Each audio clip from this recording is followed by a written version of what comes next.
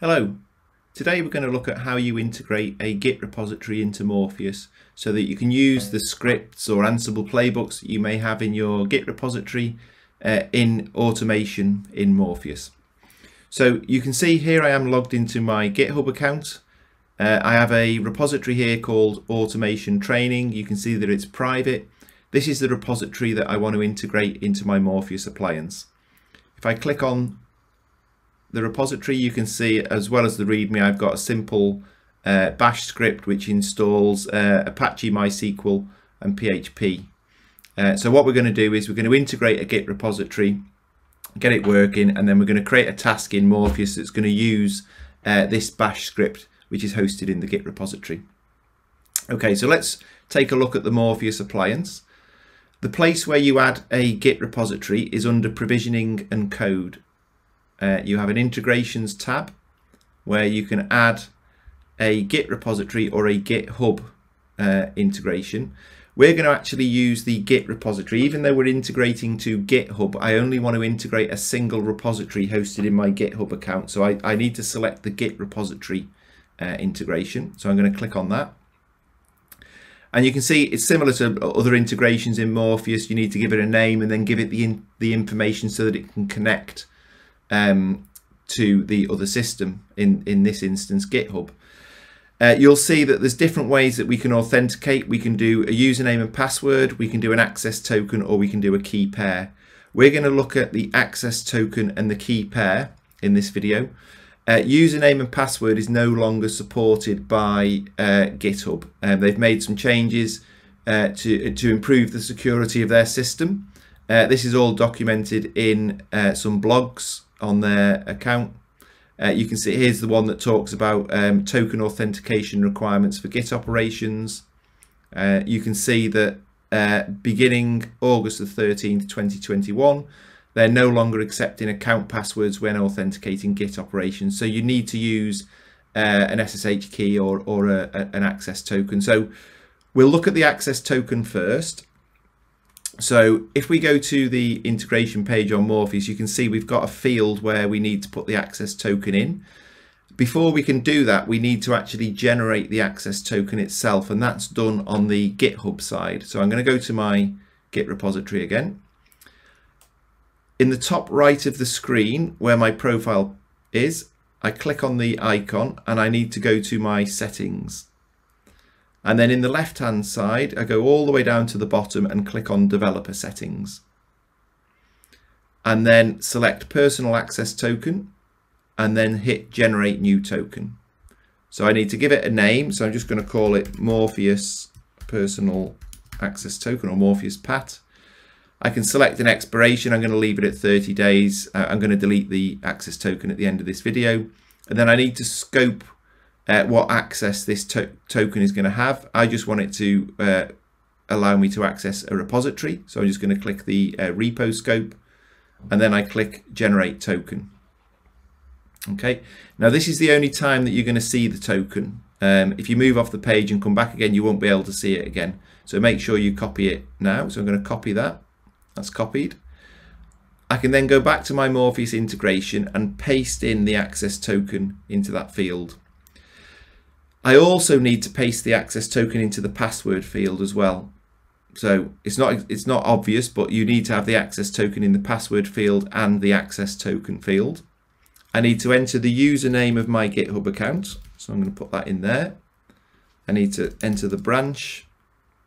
I'm going to give it a name. So I'll just call it um, Morpheus GitHub. And then finally, I need to give it the Git URL. So if I go back to my uh, GitHub account and go to my repositories, click on the repository that I want to integrate to, and on the code button, I can get my um, URL here. So I want the HTTPS URL, so I can copy that and then paste that in there.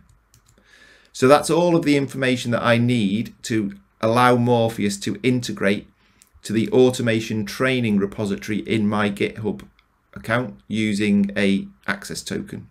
Okay, so you'll you'll see that you can also enable Git repository caching. So it does explain what that is. So if it's disabled, which it is by default, Morpheus will fetch data from the remote Git repository on every automation execution. So every time you run a task that's uh, configured to use that repository, it will go and pull that information down. Or you can enable that to allow Morpheus to cache, um, to, to do the cache instead. So I'm going to leave it disabled. So I click Save Changes. And that's it. That's my Git repository integrated. If I click on the repository, you don't actually see much information apart from the actual uh, URL of the Git repository.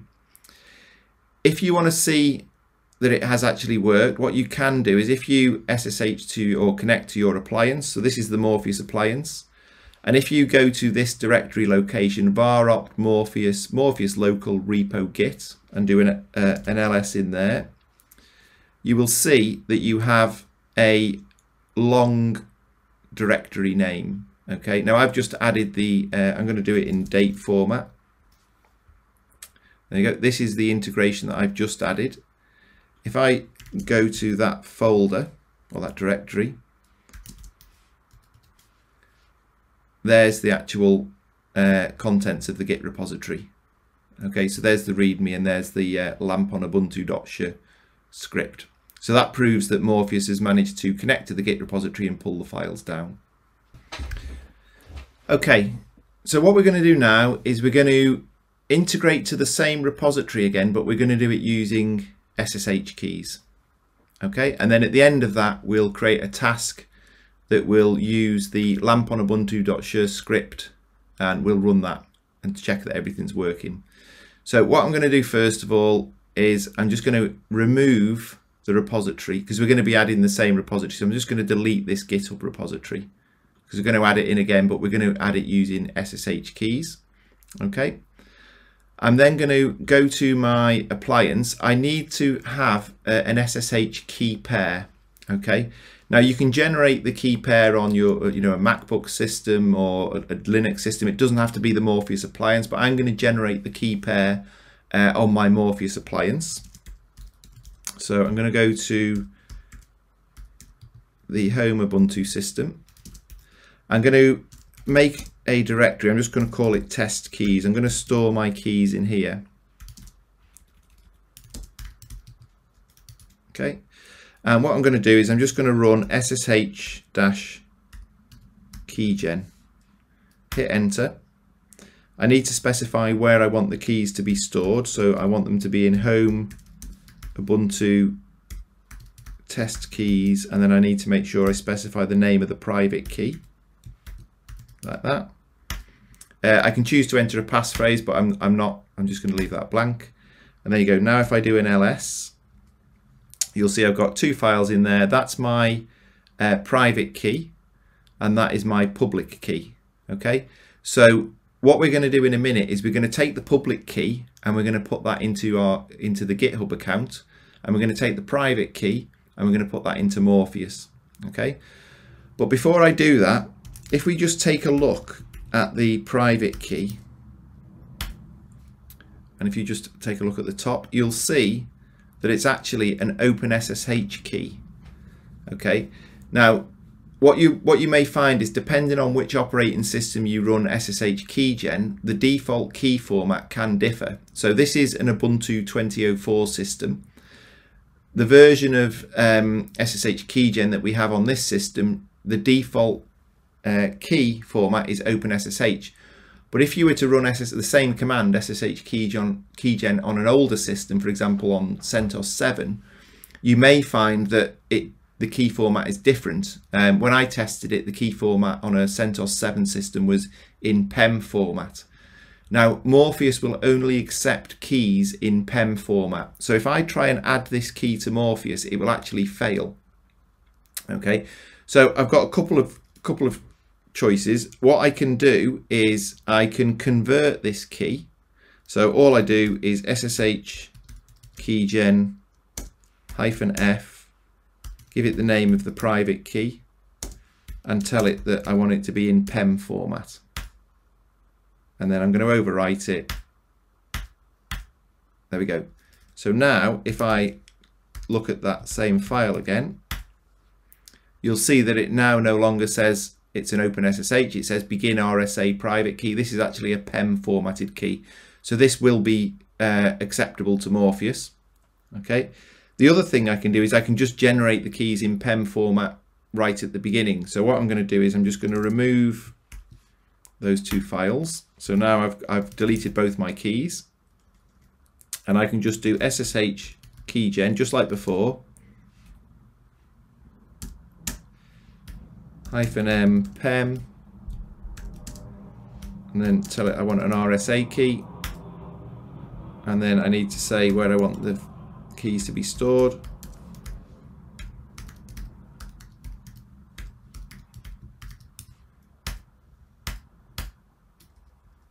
Okay, got the two keys again, and if I look at the private key again, you'll see that it's now generated it in the PEM format, which is what we want. So I'm going to use these two keys uh, going forward, but that's just something to watch out for. If you're having difficulty uh, adding the keys into Morpheus, it's most likely that they're not in the right format. They need to be in PEM format.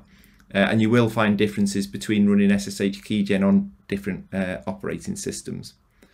Okay, so what we'll do first of all is we need to add the public key to the Git repository. So I'm just going to cat the public key. And I'm going to copy from where it says SSH RSA, I'm going to copy, copy everything right the way to the end. So I'm going to copy that.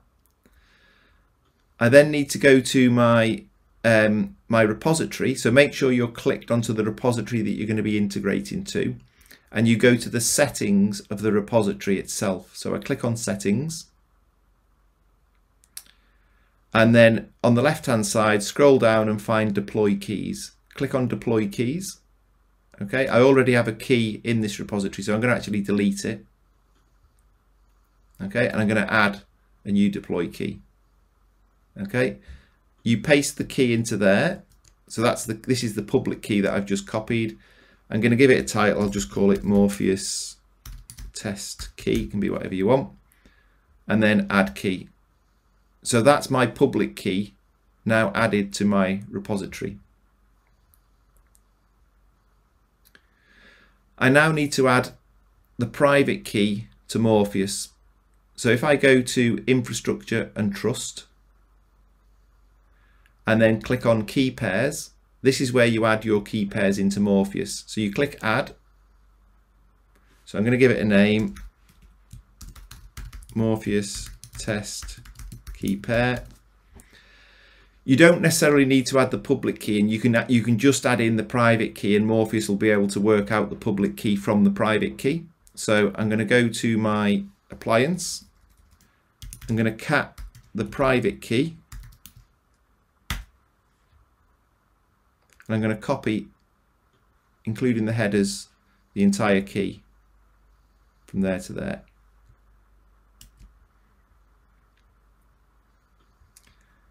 And then I can paste that in there. Now, when I save changes, if, if I didn't have a PEM formatted key, if it was OpenSSH formatted, this is where you'd see the error. You'll see an, a, a, red error on here saying uh, Morpheus can't calculate the public key from the private key. Um, but this one should be okay. There we go. So I've now got my uh, key pair, Morpheus test key pair down here. So I can now add my Git integration to Morpheus again. So I do it in the same, exactly the same way as before. I go to provisioning and code. I add, sorry, integrations, add a Git repository. I'm going to call it Morpheus GitHub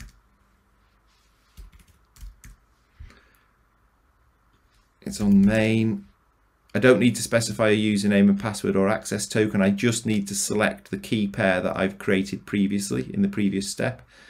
And I need to give it the, uh, the Git URL again.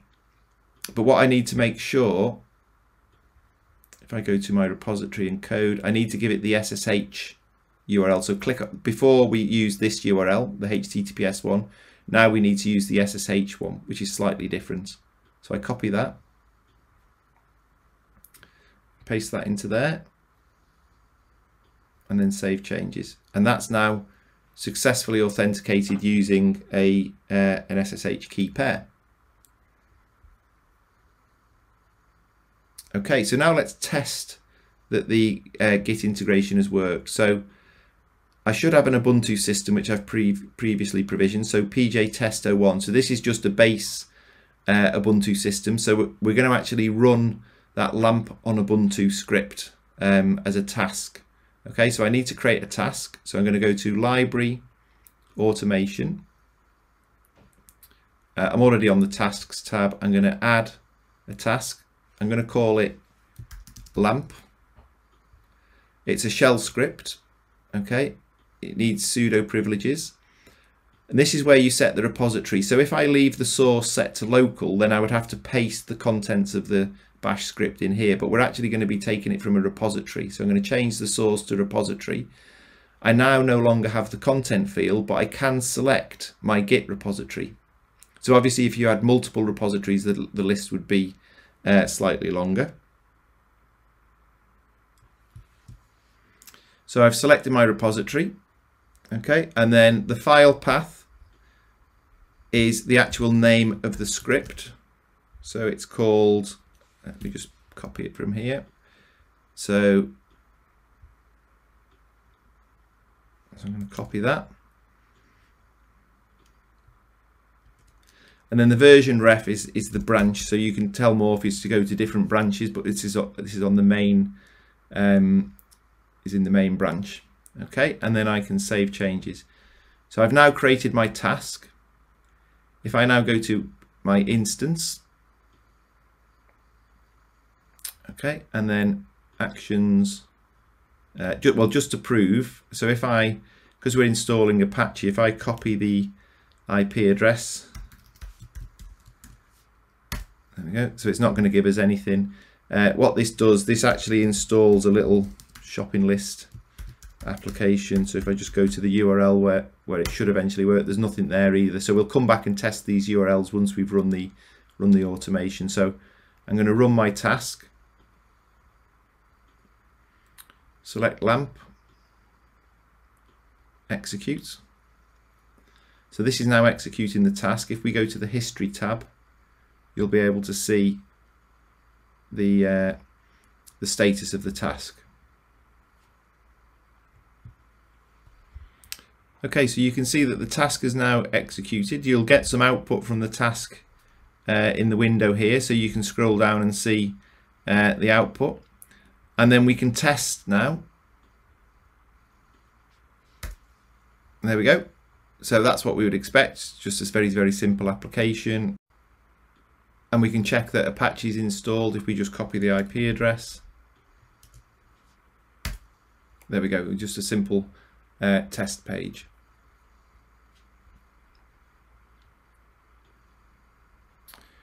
And that concludes this video on how to integrate Git or a GitHub repository uh, into your Morpheus appliance. I hope that you found it useful and informative.